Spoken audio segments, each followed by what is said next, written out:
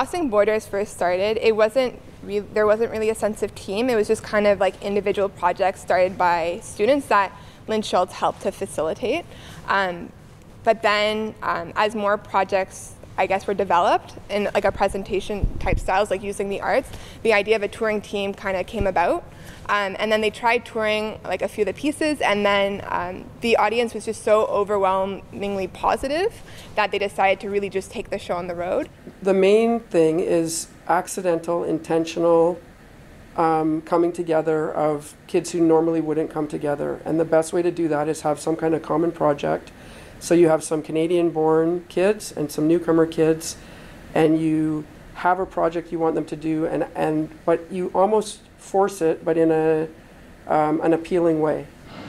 Hijab on, hijab off. Niqab might as well be niqab, given the nonsense you spread in the media. If I kill someone, I'm a crazed madman. If I kill someone, I'm a terrorist. Same crime. Different frame. To what aim? To divide. To terrify. To vilify. For political gain. To paralyze. To make it rain. For money? Power? Hubris? Are we really gonna fall for this? When refugees come here, they they feel like they are disabled because they're always receiving help from others. They feel like they don't have anything to give. So what we always tell them is even though you don't speak English, you can still speak in Arabic. And if people are teaching you English, you can teach them Arabic. So what you have is, is not less than what others have. Abdul Rahman um, and Ahmed are um, two kids. They're they're new Syrian new kid. They're students from Syria, recently arrived. They're, they've been here less than a year. Um, they have a lot big gaps in education, so school's not going great for them yet. Which is typical for newcomers who have had a lot of relocation and struggling through war and everything. So somehow we found that Abdul was a fantastic singer.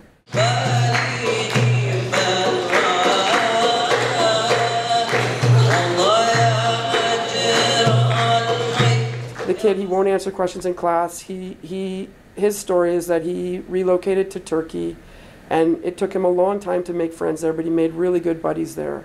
And he thought he was never moving again. And then his parents moved him to Canada, which is, in the long run, will probably be better for him, but he doesn't get that yet. He's 14. And he's angry. And in class, he's shut down. Uh, he doesn't want to be there. He doesn't want to try. He's a smart guy. And right now, we just have to love him until he's okay and ready to try. But we found out that he could sing.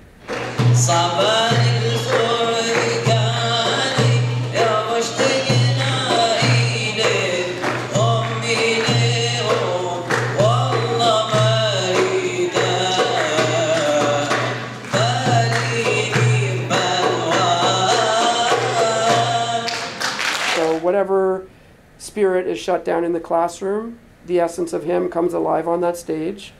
And so we drag him out of class and take him on the road, and that maybe gives him enough to keep him going until maybe he can start to like this place called Canada. And his buddy Ahmed is the same, but he plays the tabla. So um, I've always been a believer that you shine a light on what kids can do instead of what they can't do. The first uh, thing I did for Crossing Borders was just to watch it. And they asked me to just come on stage and introduce myself. I remember I was so nervous, I couldn't even say the word crossing borders. It just wouldn't come out. The huge challenge is confidence because they're not hearing the language and they're shutting down. So they find links within their cultures. And that's a huge comfort so that they can speak their own language with their friends. So we have different places they can meet. We do a Speak English cafe and they can come in in their groups, but then they speak English at lunch once a week. Um, depression is hard for them. Their background stories are hard. And the more you learn about them, the more you learn their background on their religion, to know the different dynamics and cultures and traditions, it helps within the classroom. And, and every year I learn. Every student I learn. It's so, they're, they're dynamic kids. First, to write a spoken word, you need to uh, first think about like an issue that we, you'd like to uh, talk about and uh, raise awareness about. So it depends if it hits you, uh, like an issue comes to your mind, you can just start writing. What are you? We're human citizens, students, friends, daughters, sons, sisters, brothers, bubble tea chuggers. We're a long list of Starbucks lovers.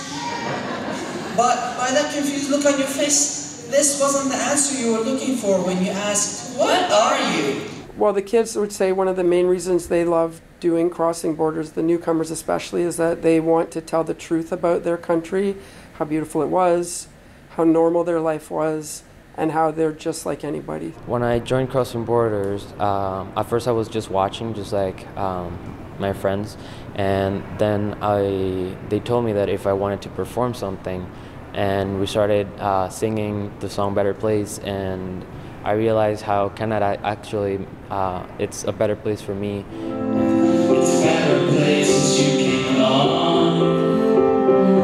It's a better place since you came along. So Mona speaks of um, having to le- run away from Syria because of the war, and then moving to Jordan, where as refugees they weren't accepted. And so you leave a terrible place, not a, a terrible situation, thinking that you're going to a safe place, and then um, you are marginalized because you are other. And she thought, you know, they they don't they hate us here. So even the the place of refuge was not a place of refuge. Uh, before the war, like I like um, has a simple life and cool life. I go with my friends to my school, and I will like I'm always be happy in my in Syria, and be after like when happened the war, like it's so sad. في تلك اللحظة أخبر جنود أمي بأنه يجب علينا البقاء في المنزل كنا خائفين جدا لبقية اليوم so before she came to Canada, she thought, uh-oh, is it going to be like that again? And what a relief to her when she came here and she said, you know, people don't judge me here for who I, what I, what I wear, what I believe. I am accepted here. It is a better place here. I started when I came the, to the school, and Michelle and Huda meeting with the Syrian people, and they are told us we are present Syrian piece and we practice and then I started and I love it. The program attracts different kids and we sometimes it sometimes doesn't attract. We just sort of tell them, "Try this. You're coming." And then you'll like it. when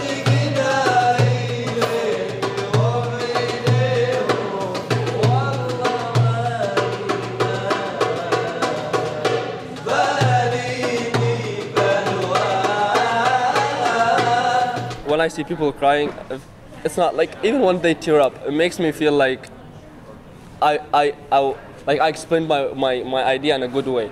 People understand my, my point, and that, that just cheers me up.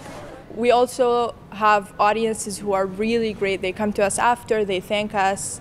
They, we always hear people saying You're, you've opened our eyes, minds, and hearts, where people, because people don't really know how it feels to be a refugee. When they get to tell their story, when they get the, to tell it to the world that they're, they're kids, they just want to be kids, and this is what happened to them, and not to blame them for everything, that they just want to continue in life because their parents have done a ton to get them here. So now they've got these pressures from their parents too, and they want to succeed in Canada. And they want to become Canadian, and they love it here. And some of them want to go back and help rebuild their countries because they've seen so much destruction. But it's hard when they get text in this social media thing and they hear that a friend had died and you don't know that right away, they don't tell you, and you find out why they're so down, you know, and, and you, you, there's a whole integration part of that to help them feel comfortable here to tell us so we can help them through it. And the Crossing Borders has been a huge link that the kids can come in, they, they all feel welcome from anywhere in the world. They can come into that classroom. We're gonna talk about who are the Kurdish people and we're gonna a little bit talk about our story, how we left Syria and we came like to Turkey after that to Canada. And yeah, we're gonna like share. I, I wanted to share my story to the people. Like when we say we are from Syria, they thought we are Arabic, but we are Kurdish from Syria. I wanted they know to know who are the Kurdish people and yeah. Some of us are Armenian. Some of us are Sunni. Some of us are Shia. Some of us are Kurdish. We are all Syrian. I'm really proud to see like Crossing Borders like actually went through way off the top. Like they won an award today. Like it's really amazing like how just like small ideas can build up into like such a big and useful thing and meaningful things to all the communities and like all the newcomers from like Syria, everyone to be involved. Your touch is sunlight through the trees. Your kisses are the ocean breeze. Everything's alright when you're with me. So when I first came here as a newcomer, I found crossing borders and it was really a life-changing experience for me. I didn't like school, I was skipping all of my classes, but when I got involved in crossing borders, I, I became a different person. And I always say, I don't want to credit all all of it to crossing borders, but mostly I'm a university student now because of crossing borders, because it helped me really have a goal and, and work hard for it. So when I got that chance, I want all newcomers to have the same opportunity that I had when I came to be successful. I looked at things in certain ways. Should, things should be done this way. People should be this way. But as I was, as I met more people, different people from different countries, I was more open to how that things are not just black and white. I think every part of the program is transferable, but with um, careful conversations about the nuances of whatever school is involved. It really comes down to uh, inspirational teachers, inspirational uh, students, and uh, the, the confluence of that, of bringing them together. And once you bring them together, they can't be stopped. So you put in 10 inspirational people together, a little bit of leadership from the teacher's side, and you'll be blown away by what can happen in your community. That's my message to everyone. We're sharing the know-how, why this program is important, and why other schools across Canada can do this program. And it's absolutely crucial. And I'm not saying there aren't more different types of programs out there, but one thing I've seen today, with the warmth that you've shown us, that this program is one of a kind, absolutely one of a kind. And you should all applaud yourselves for that. Everyone's